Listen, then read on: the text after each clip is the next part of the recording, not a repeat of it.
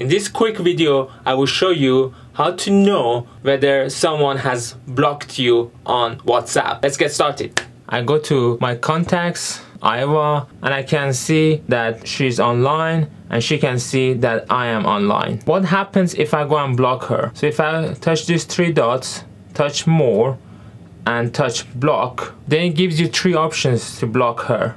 One is just to block, one obviously to cancel, and one is to report and block. So we just want to simply block. So touch block, and you see the top where it was saying online, now it disappeared. It doesn't show any status whatsoever on either phones. Now, for example, Yeva wants to know whether I have blocked her or not. So she writes me a message. Let's say she says to me, hi, and you can see she gets one gray tick mark which means that the other person haven't read. But it doesn't show whether the other person has blocked me or not. On the other hand if you look at my phone you don't see any messages appearing because I have blocked the other person. How to find whether really this person has blocked you? What you have to do is go back to your contacts and create a group touch this touch new group and now try to add this person who has blocked you into that group which was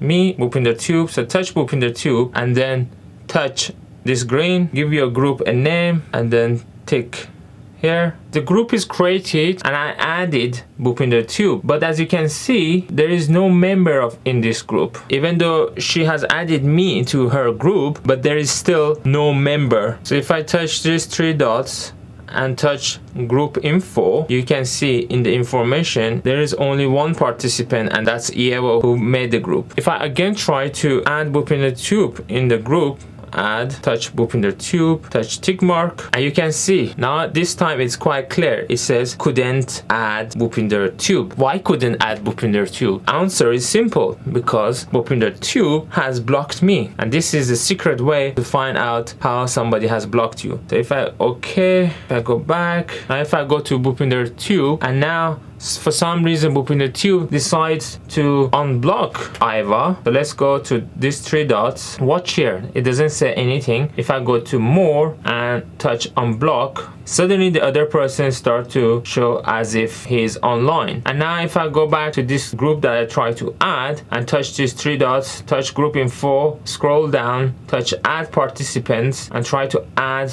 Bhupinder Tube, you can see the other person has been added. Now Bhupinder Tube is also in the group. I hope you found this video useful. If you did, please don't forget to watch my other WhatsApp videos and I hope to see you in my next video. Thanks for watching. Bye bye.